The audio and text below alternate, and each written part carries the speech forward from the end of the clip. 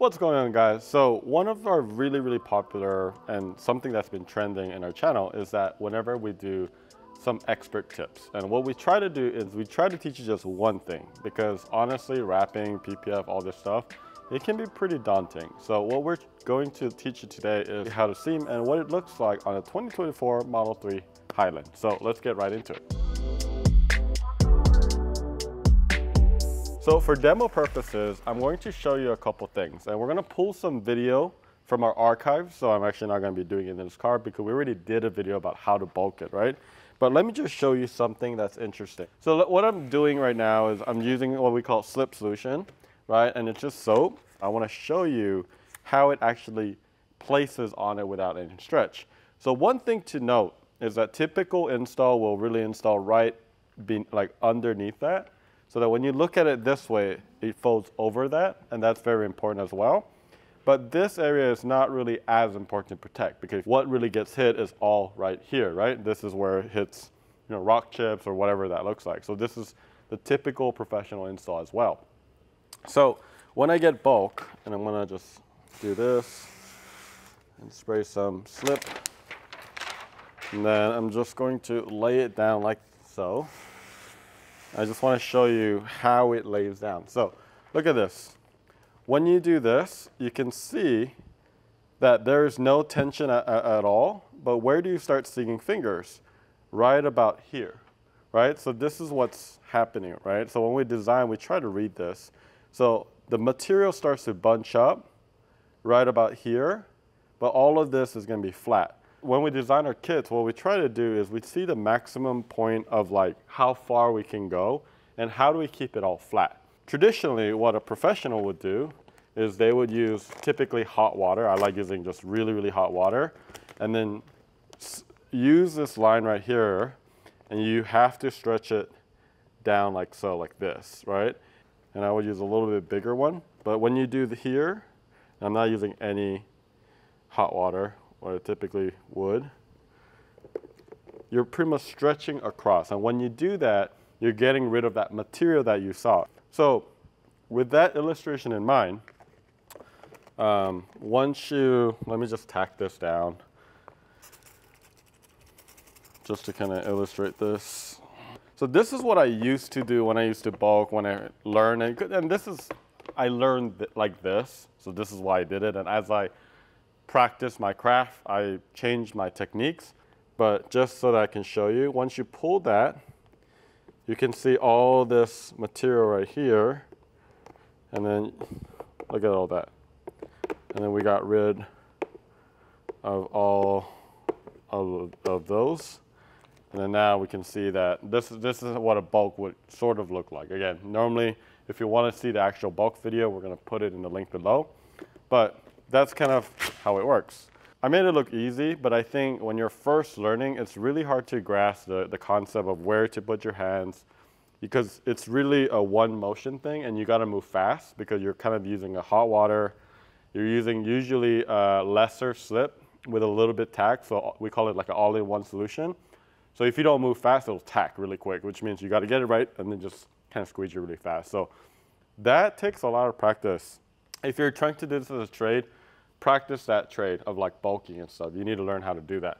But if you're like doing this like a do-yourself sense, we have this kit, right? This is our kit for the Model 3 Highland. Uh, it has two pieces. Remember I showed you that all the material was bunching out right up there? That's exactly how we designed ours. So the concept here then is going to be tacking here, using that as alignment, pulling it past here, a little bit past this line, and then after that, connecting that next piece into that. So let's go ahead and peel this. Also, you're just dealing with less material like this, so it's just so much easier, right? And then I can just place it like so.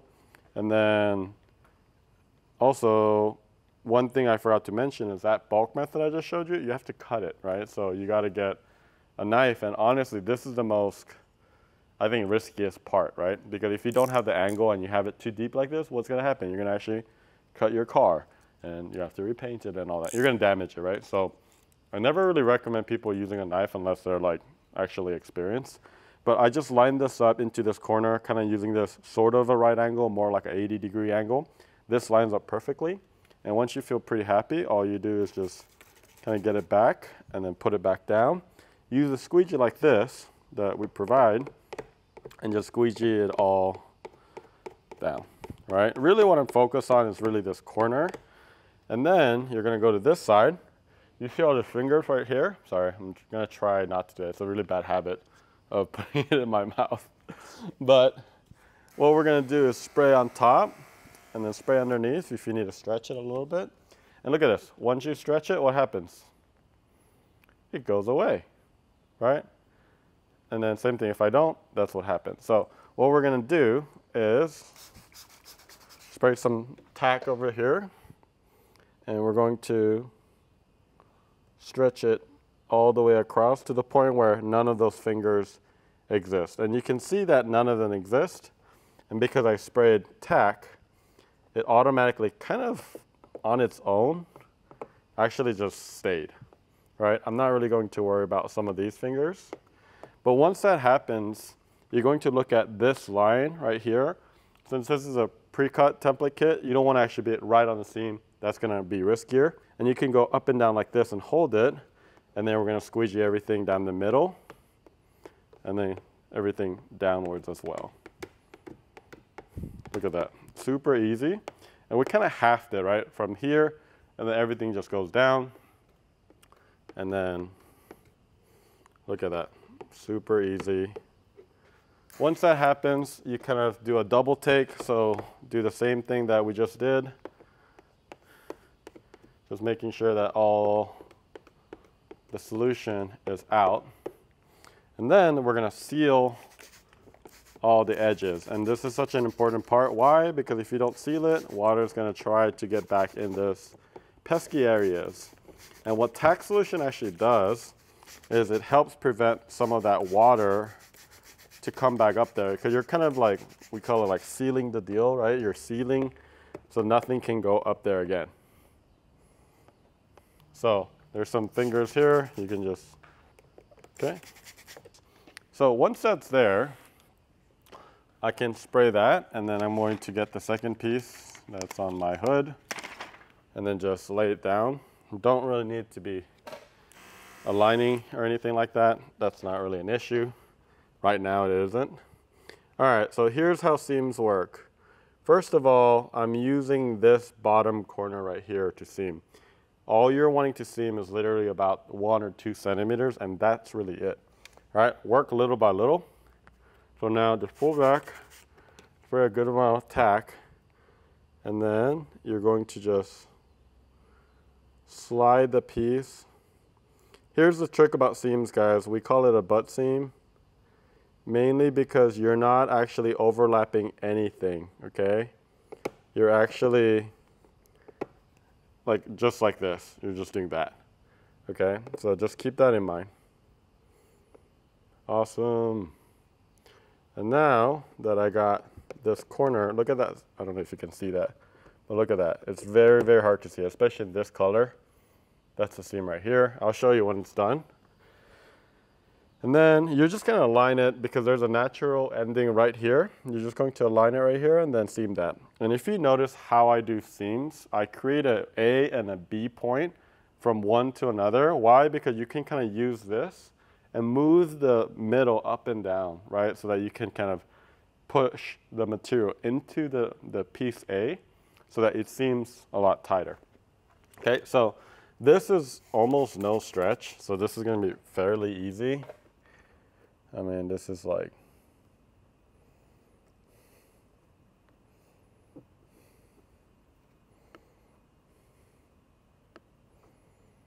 cool. Again, focusing on just that. And then we, we can start actually pushing into it, right? So I'm kind of just using my fingers. And I haven't even used tack yet and then we're going to push into that seam. Okay? And this is where like you can spend more time, less time until you're happy. And then you can make your seam look really, really good. And then once you get that seam how you want it, you can essentially just push the water out. One other tip too during this process is that when you tack certain areas, you never want to go back to it. Why? Because once you tack an area, it's and water or distilled water alone, you're pretty much activating that adhesive. So when you actually get water into that area, what happens? That water or the, the slip solution actually gets trapped inside that area, right? So you never want to, once you tack that area, it's pretty much permanent, right? So like, don't ever go in back into that area, always go away from that area. So I tacked here, so I'm never pushing water into that, okay? So I'm gonna go ahead and, first of all, do a quick double take. So I'm gonna do the same thing that I did and then there's a couple fingers that's popping up up here, which is totally normal and expected. Cool. And then we can do the same thing and just seal all the seam right here. Perfect. Looks great. And all the exposed edges is going to be pushed down. Okay. So, look at that. You know, obviously you can take a lot more time. Can I make it even a more perfect seam? Sure. But this is how you would typically seam things. And this is more, more common, at least, um, even for pro template kits. For example, like the, the bumper, the grill, typically it's like one long piece and you have to pretty much tack A and B and then you kind of move it around and then bring everything. But you have to do a good amount of stretch to get there. Uh, and then that seams with the bigger bumper piece or something like that. That's really common within our kits as well. So for this seam, it's not necessarily in a very obvious uh, line, like a body line, but a lot of the times when you do seams, you do want to do it in an area that's a very obvious place. And what I mean by obvious place is like hard body lines is a really good place to seam because it's, it's like natural, right, for that line to be there. Uh, in this case, we, did, we put that seam in, in this kit um, in an area where the stretch is most extreme. So then we pretty much cut it right at the point so that both of these can lay flat, right? So it makes it a lot easier. This really introduces a lot of people into actually trying this out themselves. So hopefully that gave you a little bit more information about how it looks like to seam. This is obviously just one example. If you have any questions or if you seam, let us know in the comments below. We love making this video, so click on that subscribe button and we'll see you later.